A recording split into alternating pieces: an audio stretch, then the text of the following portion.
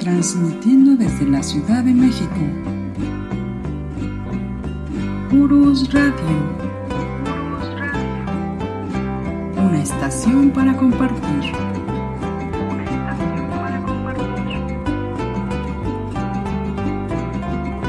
Urus Radio.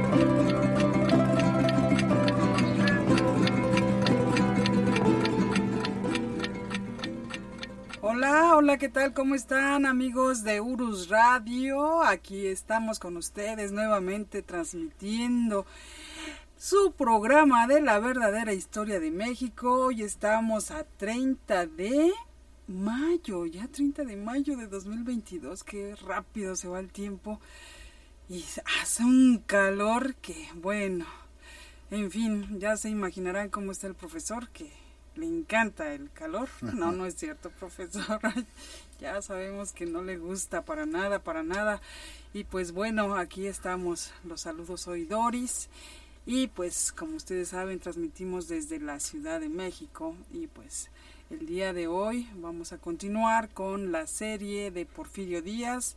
Ya en su episodio número 9. ¡Qué barbaridad! Profesor, también lo saludamos. ¿Cómo está? Buenas noches.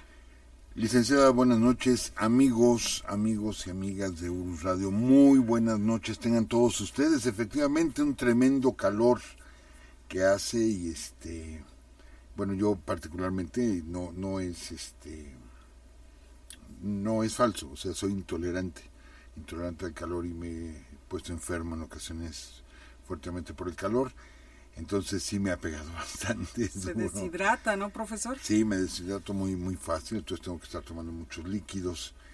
Pero bueno, aquí estamos, como todos los lunes, licenciada. Pues sí, como todos los lunes y también vamos a saludar rapidísimo a nuestros amigos que se encuentran en el chat, que siempre están puntuales. Javier Quiroz, Ger Solano, Diego Arriaga, Edson Raj, Miguel Beltrán, está Eduardo Cabello, Donald, Donaldo Matías, Frida Loera, el ingeniero Miguel Ángel Madero, perdón, arquitecta Montserrat Dulce Serena, Joseph Portillo, López Rodríguez, Erika, Ismael Navarrete, Alejandro Alvarado, Juan Carlos Ramírez, Ana Laura Vázquez, Francisco Castrejón, Kaori, Ada Flora, Iván Francisco Vargas, Carlos Alberto Martínez, Norma Rodríguez y bueno, bueno, bueno, seguimos. Malinemesis también está por acá, Pérez. Sí, profesor. No, es que alcancé a ver un, mensaje de, de, todos los que amablemente nos, nos escriben y hay que hacer una una, una mención, este, ah, donde está, aquí está, del ingeniero Miguel Ángel Madero Solís. Dice, buenas noches, profesores. El día de ayer que ganó Sergio Checo Pérez, recordé cuando el profesor narró la historia de Pedro Rodríguez, unos, un orgullo escuchar el himno nacional mexicano en Fórmula 1. Pero no solo eso, amigos, no solo eso. Corrió con el casco de Pedro Rodríguez. El casco que traía era de Pedro precisamente. O sea, qué, qué homenaje, qué homenaje a nuestro gran piloto mexicano Pedro Rodríguez, que hayan corrido con su casco tantos años después y haya ganado un premio Fórmula 1. Excelente. Y sí, la emoción era natural, la de Checo, era natural derramar las lágrimas de la emoción de escuchar nuestro himno nacional. Tiene toda la razón el ingeniero Miguel Ángel Madero. Claro, y bueno, nosotros igual como estamos inmersos en, el deporte, muchas veces, no, tantas, pero hemos estado fuera de, México y, bueno, hemos estado en torneos y bueno, de alguna manera hemos estado también cuando este ha ganado México y se siente hermoso escuchar nuestro himno nacional, efectivamente. Así es, más en, una tierra que no es la nuestra y escuchar nuestro himno y ver nuestra bandera, caramba, qué emoción. Qué emoción. Y pues bueno, saludamos también a nuestros amigos Eric García de León. Él estuvo, a ver, ¿y a quién es? ¿Quién es? Estuvo en el Ah, ya, estuvo por allá en la reunión de Morelia también y su hija. Este, saludos, saludos Eric, es que está, hice la letra tan chiquita que bárbara. Y también a William Heifi, que también nos escucha. Eh, también, este, ah, es cumpleaños de Jorge Villaseñor Rivera. Muchas felicidades, Jorge Villaseñor. Y pues les agradecemos también, amigos, las invitaciones que nos han hecho para que el profesor eh, realice conferencias en diferentes lados. Eh, agradecemos a este a Copasi, que es el Consejo de Participación Ciudadana de Cuautitlán Izcalli, al Ayuntamiento, también a la Logia San John de la Gran Logia Valle de México, al Club Rotario de Tlaxcala, este, y pues también nos están invitando a, a Mérida y pues bueno, muchas, de verdad, muchas gracias. Eh, pronto eh, nos ponemos de acuerdo con nuestros amigos y este les daremos les daremos fecha. Ah, en Cuautitlán Izcalli, ya sabemos, es el 8, el 8 de julio. Vamos a estar por allá a las 6 de la tarde y pues bueno, este eh, también profesor lo del Palacio de Minería. Hay que recordarles. Así es, 8 de julio estaremos ahí en Cuautitlán Izcalli nos pidieron una conferencia acerca de historia de México en general. Hay mucho, muchísimo que hablar. Este, y ya, bueno, comenzamos a prepararlo y vamos a estar también en Palacio de Minería de este miércoles en 15. Estaremos en el Palacio de Minería con el último programa, eh, bueno, la última participación, ahí no son programas, la última participación sobre la vida de Ricardo Flores Magón. Hablaremos de toda la influencia magonista durante la Revolución Mexicana, que es enorme. El movimiento zapatista e inclusive el movimiento villista tienen su fundamento en las ideas de Ricardo Flores Magón. De eso vamos a estar platicando eh, de este miércoles en 15, allá en el Palacio de Minería, y efectivamente nos invita la logia San John, ciento, no me acuerdo qué número, este, que nos invitan.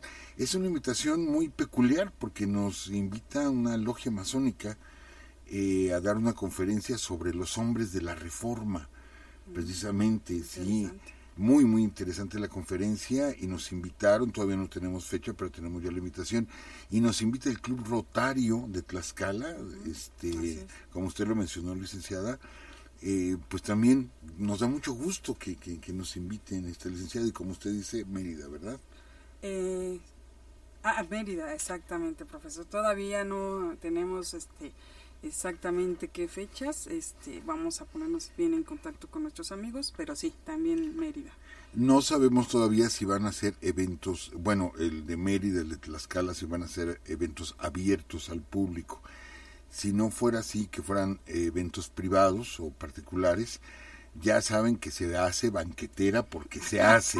Ahí estaremos enfrente de la Catedral de Mérida o enfrente de la Catedral de Tlaxcala haciendo nuestras prácticas con nuestros amigos que nos escuchan en estas ciudades. Ya les avisaremos las fechas y con todo gusto, con todo gusto estaremos ahí. Pero ahora, si se hace pública la, la conferencia, pues obvio los esperamos en la, en la conferencia y estaremos con ustedes. Nos dará muchísimo, muchísimo gusto. Claro, muchísimo gusto. Y este, nada más para los que se quieran eh, ya registrar para la asistencia a Palacio de Minería, por favor manden un correo a cultura arroba punto mx. Eh, ya este em, es pronto, por favor, ya envíenlos porque igual se pueden acabar los lugares. Y también no se desesperen porque también este nuestros amigos de Palacio de Minería ahorita están muy muy ocupados. Ya saben que hay una exposición de este Egipto. Y pues bueno este vayan vayan a verla también Sí, bien vale la pena, son réplicas, pero vale la pena. Es. entrada libre a Palacio de Minería para ver la exposición sobre Egipto, este, sobre los tesoros egipcios y después, bueno, quedarse a la, conferencia, nos va a encantar recibirlos por ahí, a nuestros amigos. Y pues bueno, eh, les decía que eh, si, bueno, no les contestan, tengan paciencia, posiblemente un lunes antes de la conferencia les van a contestar.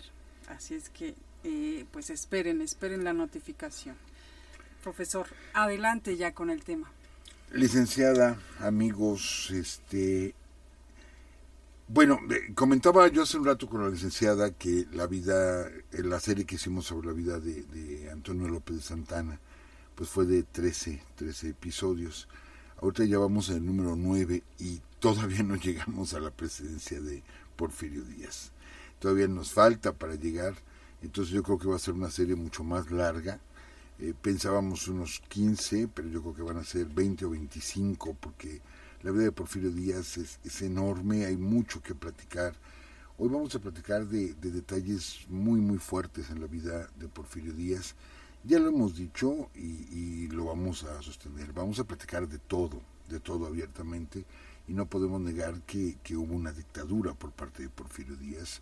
Este, pero previo a eso, bueno, tampoco podemos negar que fue un héroe. Sí, fue un héroe durante la intervención francesa. Eso, eso es indiscutible.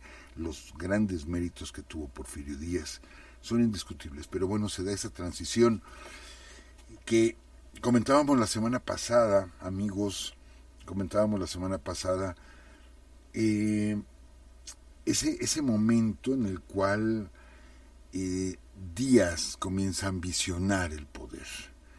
¿Por qué? Por la popularidad de Porfirio Díaz. Era enorme su popularidad después del escape en Puebla, de levantar todo un ejército, de tomar a sangre y fuego la ciudad de Puebla, este, de derrotar a Leonardo Márquez, después sitia la Ciudad de México y toma la capital, toma la Ciudad de México.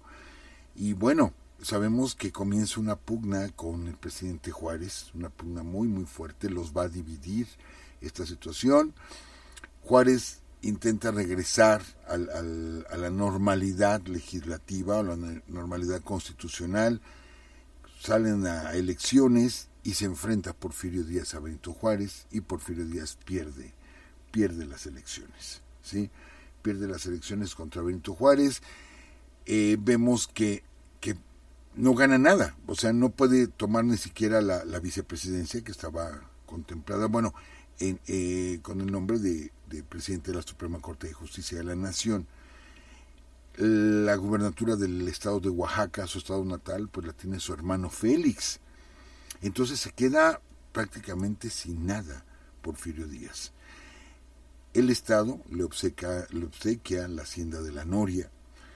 Él se molesta mucho, esto es un pequeño resumen de lo que hemos estado platicando, sí. se molesta mucho con Félix Díaz, sí, con su hermano que era el gobernador, se molesta mucho porque Félix Díaz apoya a Benito Juárez, sí, y este y esto los divide a los hermanos Díaz, esto los divide. También hemos platicado yo un poquito de lo que fue su relación con Delfina, con su sobrina. Este, y bueno, ¿en qué año nos quedamos? Porque también nos decían, bueno, ¿qué edad tenía Porfirio? Porfirio es de 1830, entonces es fácil o un poquito fácil sacar las edades. Solo hubo una pequeña confusión la semana, la semana pasada, eh, cuando platicamos la muerte del general eh, este Ojoran, sí, y que nos decían nuestros amigos, no es que él fue un médico, sí, fue un médico del Hospital General de Mérida, tiene el nombre de él. No, aquí hay una pequeña confusión. Hablamos del general Tomás Ojoran, que es hermano de Agustín Ojoran. El, el centro médico de allá de, de Mérida tiene el nombre de Agustín, precisamente, y eran hermanos. Eran hermanos Agustín y Tomás, pero Tomás era militar. Y Tomás, bueno, pelea en la batalla del 5 de, mayo, posteriormente se pasa del lado imperialista, ¿sí? Y por eso es condenado a muerte al finalizar la intervención y pasado por las armas. Entonces son dos personajes distintos con el mismo apellido, entonces igual hubo un poquito de confusión, pero hacemos la, la, aclaración. Y bueno, curiosamente, eh, licenciada y amigos, mañana 31 de mayo se cumplen 111 años de que abordó el Ipiranga Porfirio Díaz para irse definitivamente de México. Mañana se cumplen precisamente 111 años, quiere decir que hace cinco días se cumplieron 111 años de que él presentó su renuncia, ¿sí? Y salió rumbo a Veracruz y el día el día este 31 de mayo se va se va de México. Y pues 111 años que no está su cuerpo aquí, sí que descansan sus restos allá en París. Entonces, eh, pues es una fecha interesante, interesante de, mencionar. Platicamos como él trajo a Delfina a la Ciudad de México, a su esposa Delfina, él era 15 pues, años mayor que, que Delfina. Este, y bueno, vamos, a, vamos a ubicarnos porque esta parte es un poquito, un poquito enredada, ¿sí? Estamos hablando, estamos hablando, de, él, se casa con Delfina en el año de 1867, o sea, él teniendo 37, 37 años. Y ya cuando está aquí, eh, se va para Tehuacán, acuérdense que les platicamos que se va a Tehuacán, que se divide en varias zonas militares del país y él se hace cargo de la zona de Tehuacán, se va, posteriormente regresaría ya a la hacienda de la Noria y ahí comienza una parte muy impactante de la vida de Porfirio. ¿Por qué? Porque eh, nacen sus hijos, ¿sí? Nacen sus hijos. En total tuvo ocho hijos, este Porfirio Díaz, a todos los, los, reconoció. Bueno, se habla de uno que no fue reconocido, eh, pero que se sabe perfectamente que sí fue, sí fue su, su hijo, sí, que bueno, después hablaremos un poquito, un poquito de él, pero bueno, tuvo a su hijo Porfirio, que muere el, eh, bueno, a su hijo Camilo, a Camila, no, Camilo, que muere el 23 de abril de 1870 y el 4 de mayo muere su hijo Porfirio, Porfirito, ¿sí?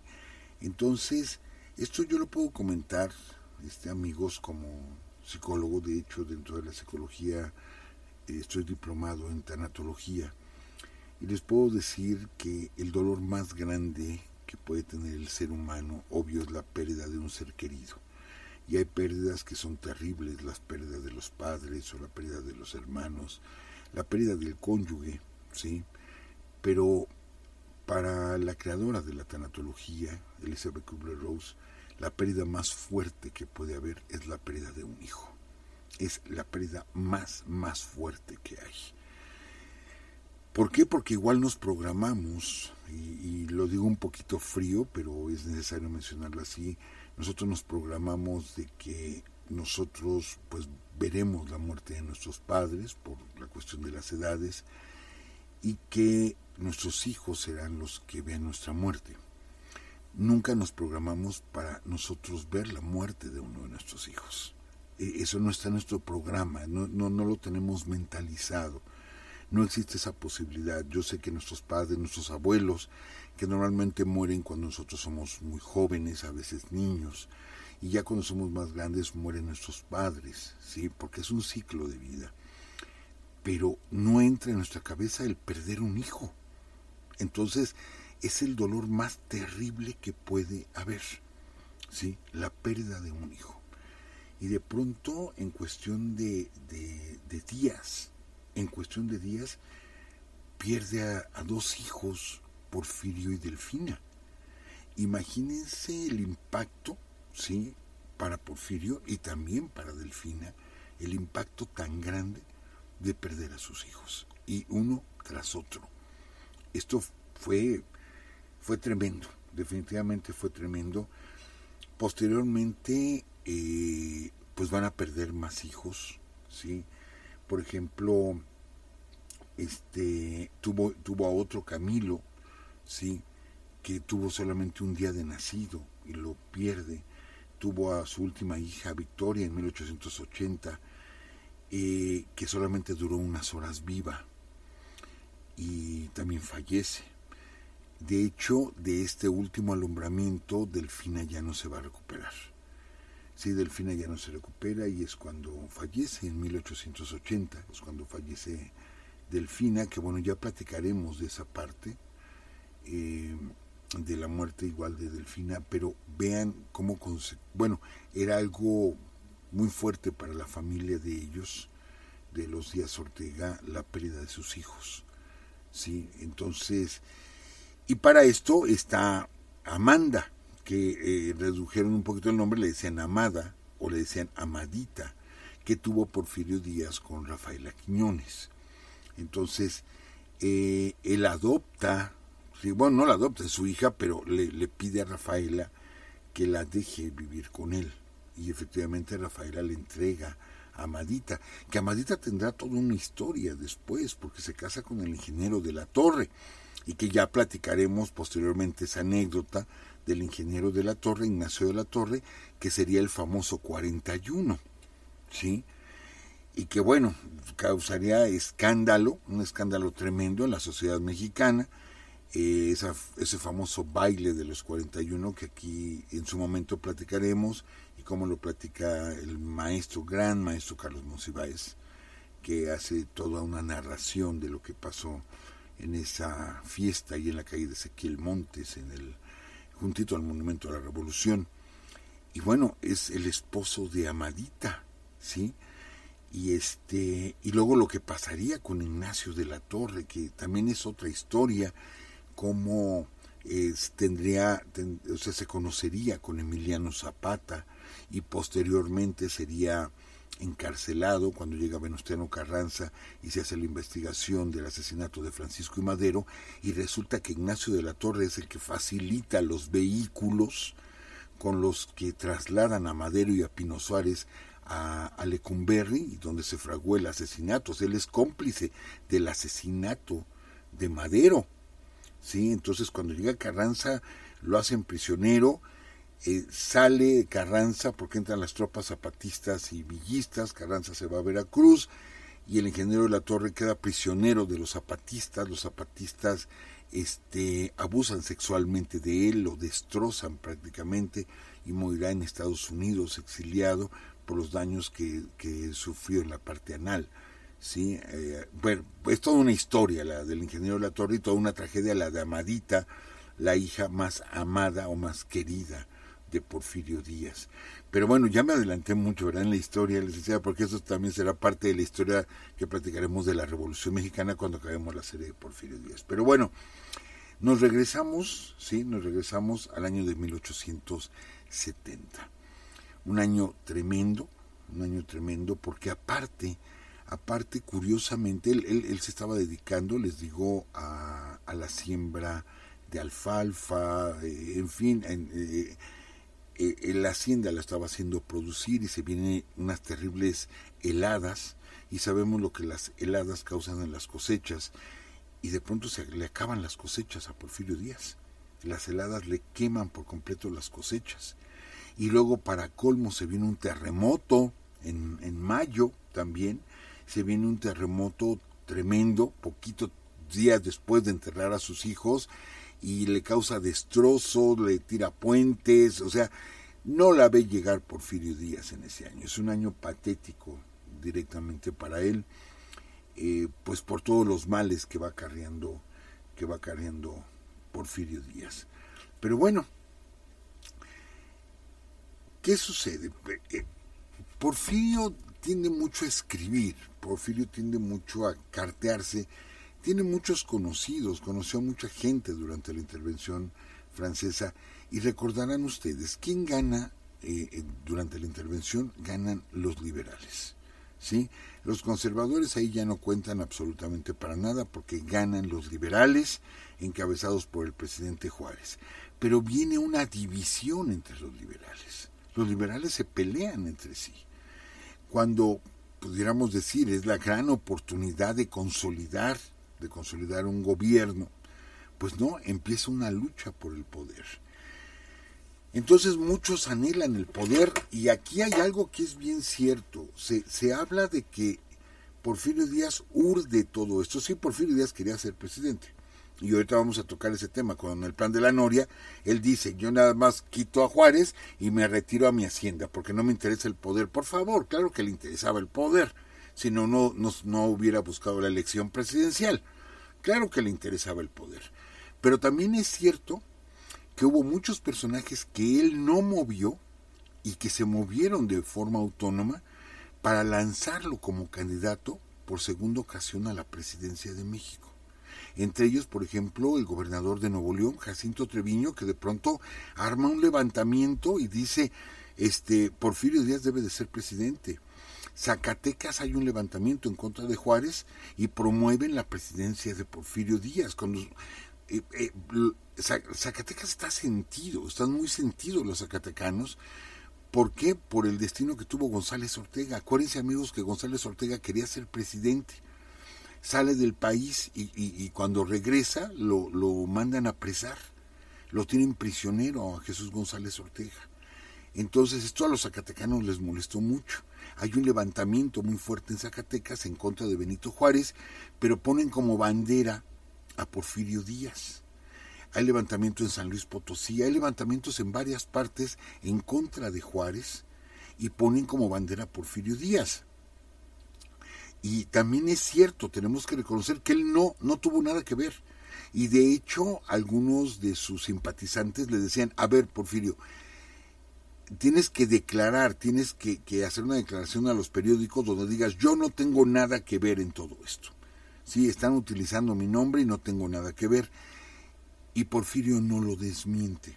Tampoco lo acepta, pero no lo desmiente.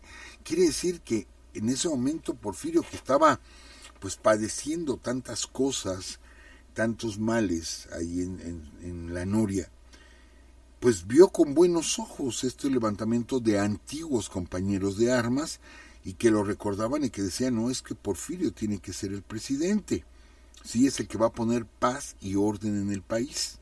¿Por qué? Porque les repito, hay un levantamiento tras de otro y ahí tienen a Juárez llamando a Sostener Rocha, a, varios generales para que lo estén apoyando y sofocar los levantamientos.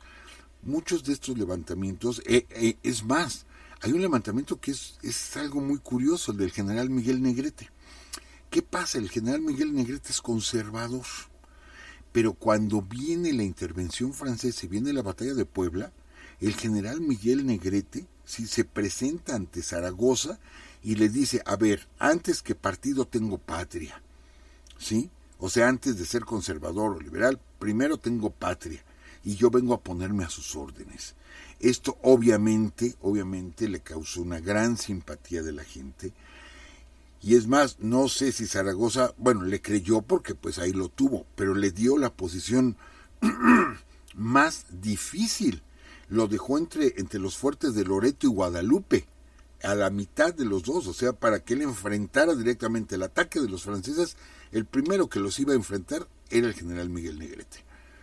Y los enfrenta.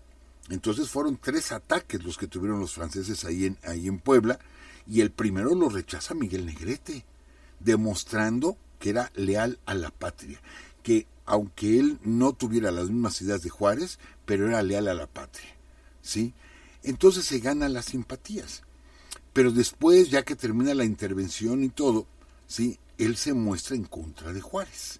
Él dice, bueno, ya no están los extranjeros, esto es un pleito de mexicanos cualquier extranjero que venga a volar, ¿sí? Esto es un pleito que vamos a solucionar los mexicanos y yo como mexicano estoy en contra de Juárez y me voy, lo voy a manifestar y lo voy a mostrar. Y lo hace Miguel Negrete. Eso no le quita el mérito, sí, yo, yo creo, no le quita el mérito de, de, de esa frase cuando dijo, antes que partido tengo patria y aquí estoy, General Zaragoza. ¿Sí? aunque después se fue en contra de Juárez. Esas ya son sus ideas políticas. Lástima, lástima, amigos, que aquellas este, palabras, ahorita se me fue el nombre de aquel español que lo dijo este, a la salida de Novelo, que fue el penúltimo virrey, ¿sí? Eh, que dijo que caía México una maldición de que sin los españoles, pues México no se iba a poder gobernar. No recuerdo el nombre de él, les digo, fue todavía durante la gestión del virrey Novelo, ya nada más llegaría Juan O'Donojo pues a entregar el poder con Iturbide. Y pues sí, esa maldición nos pegó, ¿eh? porque seguíamos en problemas y tuvimos la primera intervención francesa y tuvimos la, la, primer, bueno, la intervención norteamericana y luego la segunda intervención francesa. Y bueno, teníamos problemas y problemas y no parábamos de pelearnos. No parábamos los mexicanos de pelearnos. Bueno, pues ya se triunfó, triunfa la República, se expulsa a los franceses, se toma, digamos, este, se toman eh, represalias en contra de aquellos que se ofrecieron a servir al imperio, ¿sí? Se fusila a mucha gente, a otros los perdonadías, que ya platicamos que eso le causa problemas precisamente con Juárez. Pero bueno, ya, ya se expulsó a los franceses, es el momento de consolidarnos y no, continúan los problemas, porque ahora los liberales que ganaron, pues ahora se pelean entre ellos. Entonces Negrete, bueno, pues está en contra de Juárez y, y queda perfectamente de manifiesto. Es en 1870 también cuando por primera vez se forma un club electoral en apoyo a Porfirio Díaz. Y lo forma ¿sí? el eh, Jerónimo Treviño, el general Jerónimo Treviño, que es el gobernador de Nuevo León. Y está en contra de Juárez. Pero estos clubes, amigos, empiezan a crecer uno tras otro en diferentes ciudades, en Puebla, en San Luis Potosí, en Zacatecas, y que esos no los organizó Porfirio. La misma gente, les digo, tenía tanta popularidad Porfirio Díaz, que la misma gente empieza a, formar estos clubes en apoyo a Porfirio. Y porque están en contra de la aplicación de, varias leyes. ¿sí? A ver, vamos a explicarnos bien. Recuerden que todo esto viene de la Constitución del 57. Se da la guerra de reforma y la intervención francesa a, consecuencia de, la Constitución del 57. Pero, ya que ganan los liberales, ¿sí? a la hora de aplicar muchas de las leyes o aplicar las leyes del 57 que no se habían podido aplicar, causa muchas molestias. Y es por lo que se dan muchos levantamientos porque causa muchas molestias, se afecta la propiedad de, varios pueblos, se afecta, o sea, hay muchas afectaciones. ¿Por qué? Quizá porque no se hizo adecuadamente. Y, es por lo que se da tanta, tanta violencia en el país. Y acuérdense que les habíamos platicado, aparte de un ejército grandísimo, ya el ejército republicano, y de pronto se quedan con 20 mil hombres nada más o 40 mil hombres, y a todos los demás eh, los manda a su casa este, el gobierno, y de pronto se quedan desempleados, con armas, sabiendo pelear, y los caminos se llenan de asaltantes, de violencia. México está en una situación de caos, ¿sí? Y decían, el único que puede poner orden es Porfirio Díaz, porque se ve que Juárez no puede poner orden.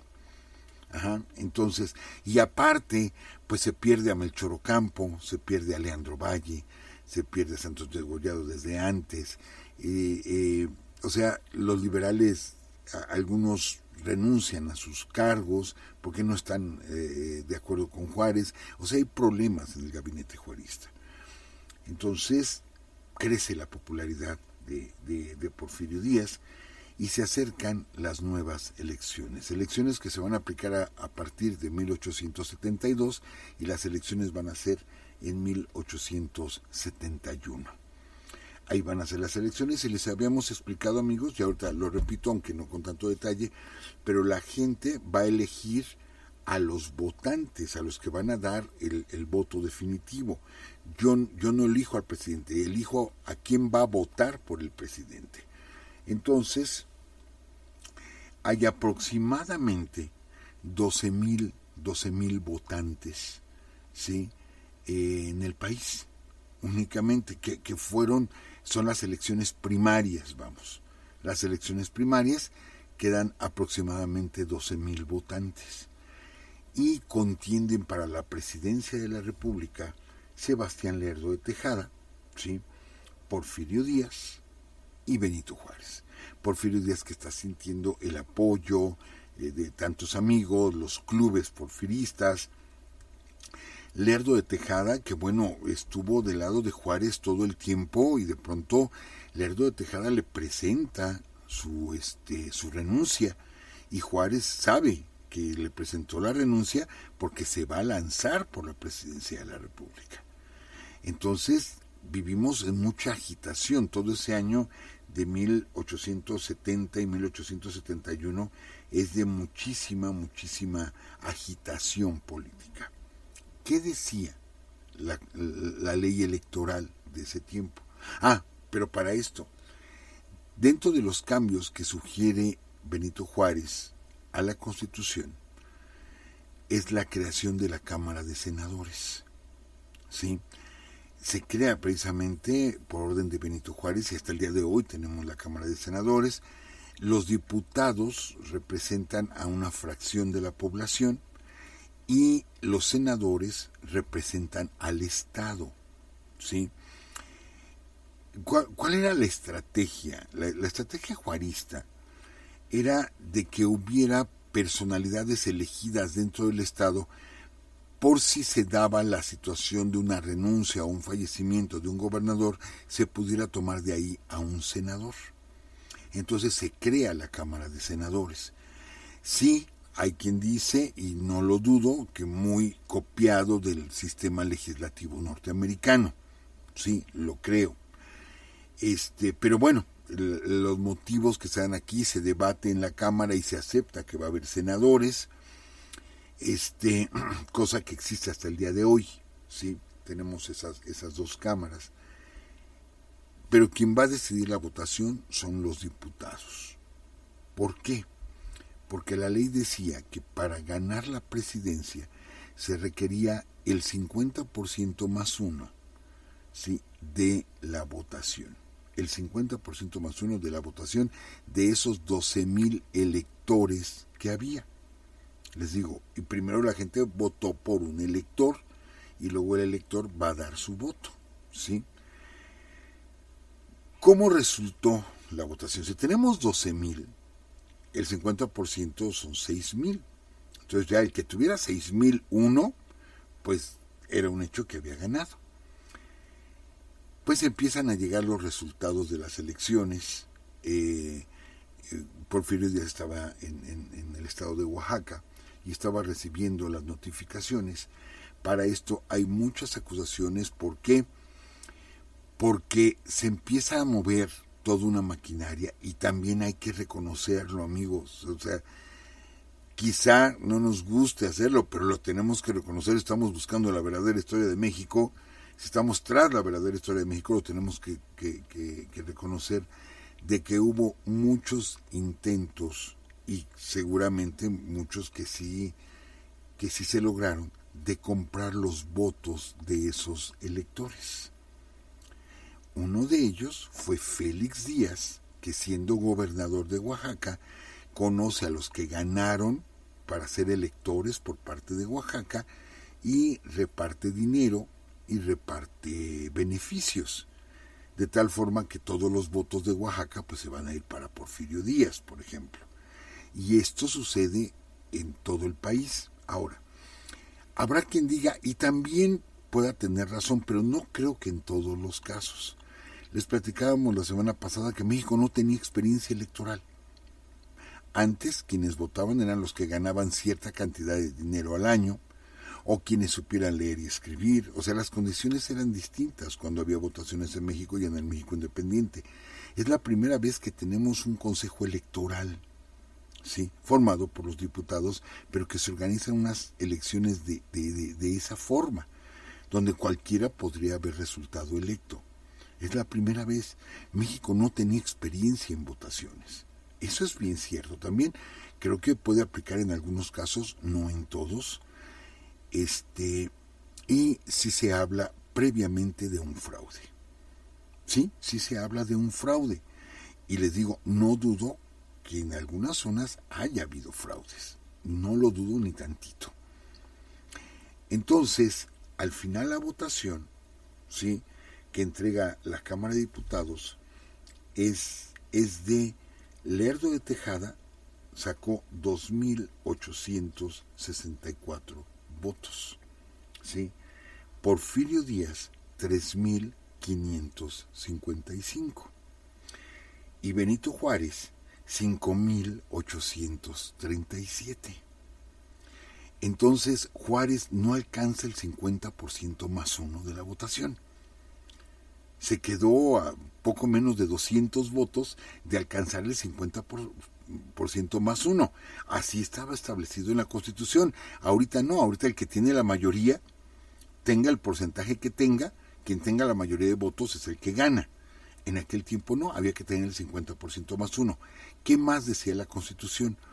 Pues que en, en, caso de que hubiera dos, o, bueno, más de dos candidatos, entonces se tomaba a, los dos primeros, que en este caso fue Benito Juárez y Porfirio Díaz, son los dos primeros, y ahora son los diputados los que van a elegir al presidente de entre los dos principales contendientes.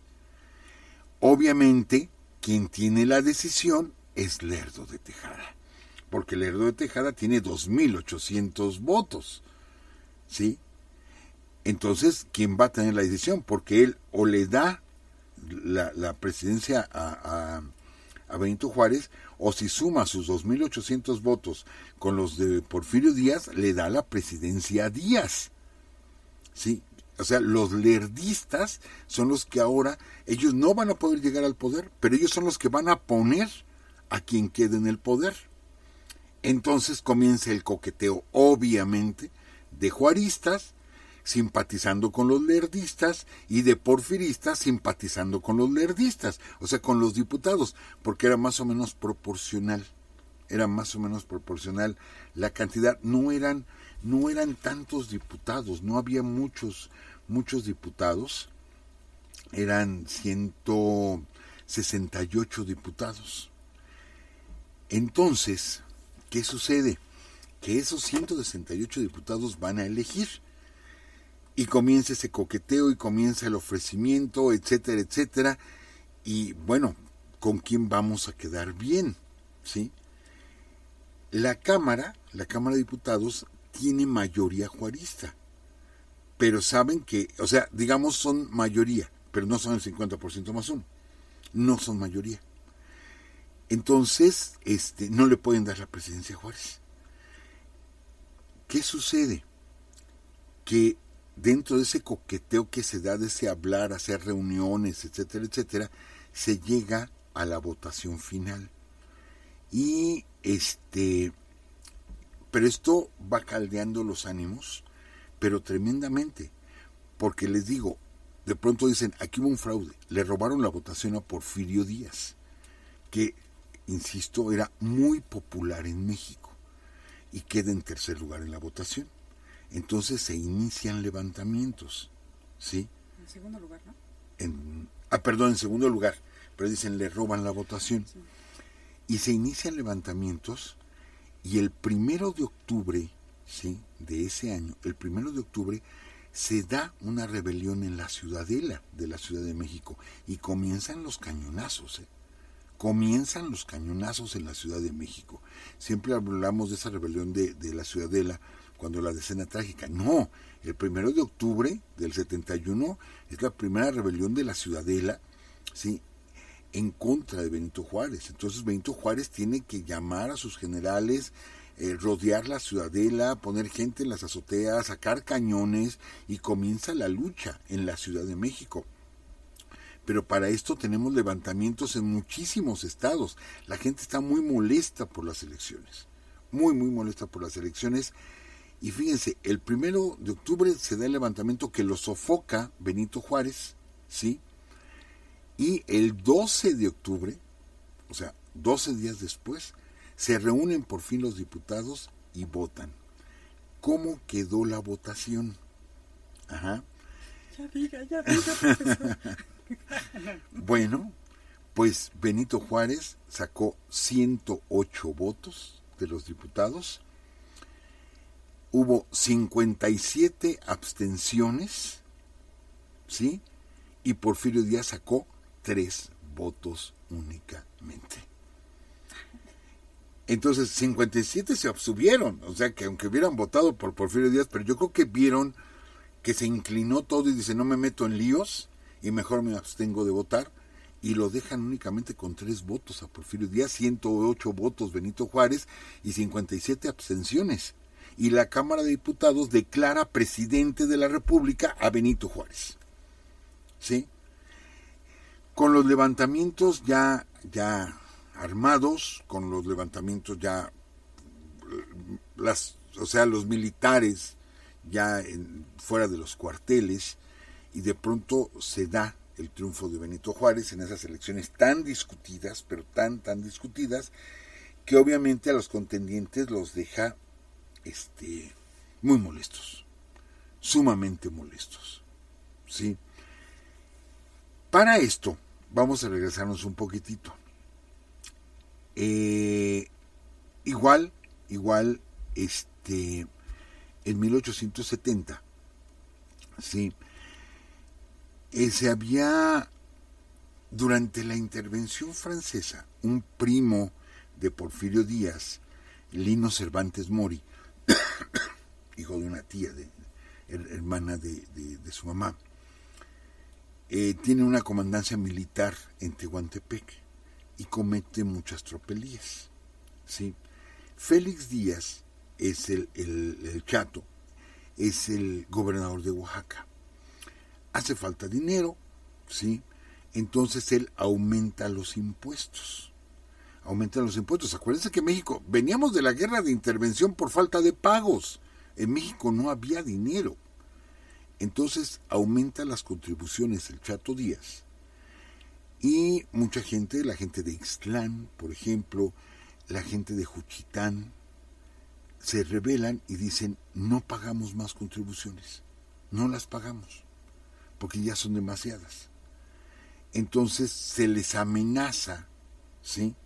Con represión y los juchitecos agarran y dicen, pues no damos nada y nos vamos a defender. Aparte ya no aguantamos a Lino Cervantes de todo lo que nos vino a hacer, un montón de tropelías, de abusos, eh, etcétera, que era primo de Porfirio Díaz y de Félix Díaz. Y entonces Félix Díaz decide ¿sí? ir y reprimir a los fuchitecos. Entonces, esto sucede el 27 de diciembre ¿sí? del 70. Sucede esto. Llega Félix Díaz, los fuchitecos armados, pero no tenían gran armamento, se concentran en las iglesias de, de Juchitán, de Oaxaca sobre todo en el Templo del Calvario en la iglesia de San Vicente. Entonces, este, los ataca Félix Díaz, que es un militar, un militar de carrera, estuvo en el colegio militar, o sea, es un militar, Félix Díaz, gobernador, pero es un militar. Los ataca y los reprime. Cuando los puede sacar, los puede sacar de donde se vean parapetado, manda al coronel Albino Sertuche, que después tendrá otra participación, a cazar a la gente en el monte. Y lo que hace es una masacre tremenda de juchitecos, porque los varones se habían quedado en el centro de Juchitán defendiendo ¿sí? el pueblo, y las mujeres y los niños se habían ido al monte a protegerse, entonces, algunos juchitecos, cuando ya avanzan las tropas de, Félix, huyen al monte y con el pretexto de matar a esos alzados, hace una matanza terrible de mujeres y niños. Una matanza terrible. Pero el error grave, que claro, fue, fue muy grave la matanza, pero lo que va a condenar de alguna manera a Félix Díaz es que se va a meter o va a ordenar que del templo de San Vicente saquen la imagen de San Vicente, ¿sí? la arrastra, la amarra a la, cabeza de la silla de montar, la amarra y la arrastra por el pueblo, y era de madera, se va despedazando y después le prende fuego. Entonces para un pueblo tan religioso, tan devoto, y que veían en la imagen de San Vicente a una figura muy religiosa, ver cómo arrastran a la imagen religiosa y cómo le prende fuego el Chato Díaz, esto nunca se lo van a perdonar. Nunca se lo van a perdonar al Chato. Es, es un odio por, por Félix Díaz, o sea, contra Félix Díaz, por lo que le hizo a la imagen religiosa. Pero un terrible odio. Esto, que bueno, yo creo vamos a platicar en el siguiente capítulo, le va a costar la vida. ¿Y de qué manera va a morir Félix Díaz? Pero bueno, Pero no olvidemos que Félix Díaz, en ese momento, Félix Díaz en ese momento es juarista. Por eso estaba peleado con Porfirio Díaz. Él es juarista, Félix Díaz. Entonces él le reporta a Benito Juárez lo que pasó en Juchitán y que tuvo que haber habido sangre, ¿sí? Para poder contener a los juchitecos. Claro, no le platica la masacre terrible que, hizo este tipo Albino Sertuche, no le platica esa masacre que hizo en el monte, matando mujeres y niños. Pero ¿qué pasa? Que cuando llega la información a la Ciudad de México, el 2 de enero de 1871, llega la información a México y Juárez no hace caso. ¿Por qué? Porque en ese momento está agonizando. Una, para mí, para mí, una de las mujeres más grandes que ha dado nuestra historia, que es doña Margarita Maza de Juárez. Se encuentra en agonía. Ella fallece el 2 de enero de 1871, o sea, cinco o seis días después de, de lo que pasó allá en Juchitán. Juárez está pues dedicado a su esposa, ¿sí? Este, su esposa está muy, muy enferma. Y bueno, eh, pues fue toda una tragedia. Sabemos que Juárez había habilitado eh, su habitación en la parte, lo que sería la parte norte de lo que hoy es el Palacio Nacional. Ahí él habilitó pues un espacio para poder vivir, ¿sí? Y bueno, ahí es donde muere doña Margarita Maza, una gran, gran mujer, de veras mi admiración. Hace poco lo decía yo en, Morelia, lo, comentaba, les decía, si ustedes buscan biografías de Carlota, ¿no? libros que hablen de Carlota y aparecen no decenas, cientos de libros. Y de Margarita Maza, solo dos. ¿Sí? Solo dos libros hablan de ella. Una gran, gran mujer y pues aquí hemos platicado muchos, muchos de los sacrificios, e, es más, ver morir también a sus hijos, verlos morir de frío a sus hijos en el exilio, haber regresado a México con los cadáveres de sus hijos, sí, haber estado al lado de Benito, haberle enviado dinero cuando Benito estaba exiliado en los Estados Unidos. Bueno, qué mujer, qué, qué gran mujer doña Margarita Maza, que el mismo, el mismo este, Benito Juárez reconocía, es que yo soy un inútil sin Margarita, ¿no? Soy totalmente un, inútil. Y este y se comenta que se oía el llanto, los lamentos de, Benito Juárez, se oían hasta la calle de Moneda, lo que es la calle que está a un lado del Palacio Nacional, de cómo lloró a Margarita, ¿sí?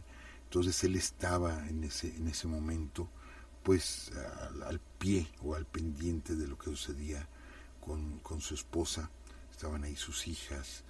Eh, realmente, bueno, Benito Juárez y Margarita se casaron por la iglesia, es algo que se ha aclarado mucho, o sea, eh, Benito Juárez no era antirreligioso, era anticlerical, o sea, con quien no se llevaba con el clero. ¿sí? No es que fuera antirreligioso, era, era religioso también Benito Juárez sí, era masón, sí, sí, sí, era masón, pero era religioso, casó sus, de hecho casó sus hijas, fue una de las recomendaciones que le hace Margarita, que sus hijas se casaran por la iglesia, y ellos se casaron por la iglesia, les digo, era anticlerical, sí, Benito Juárez, eso, eso sí. Y bueno, entonces, pues se da en ese momento tan difícil para Benito Juárez, en ese momento tan difícil, la muerte de, doña Margarita, justo cuando está pasando todo esto allá en, en Juchitán, en Oaxaca.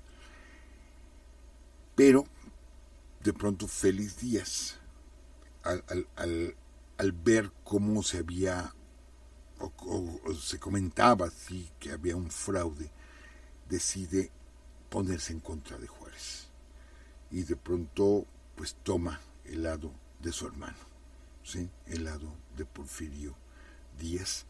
Y bueno, pues se nos fue el tiempo. De veras, licenciado, ahorita que volteé a ver el reloj, se me fue el tiempo en la plática.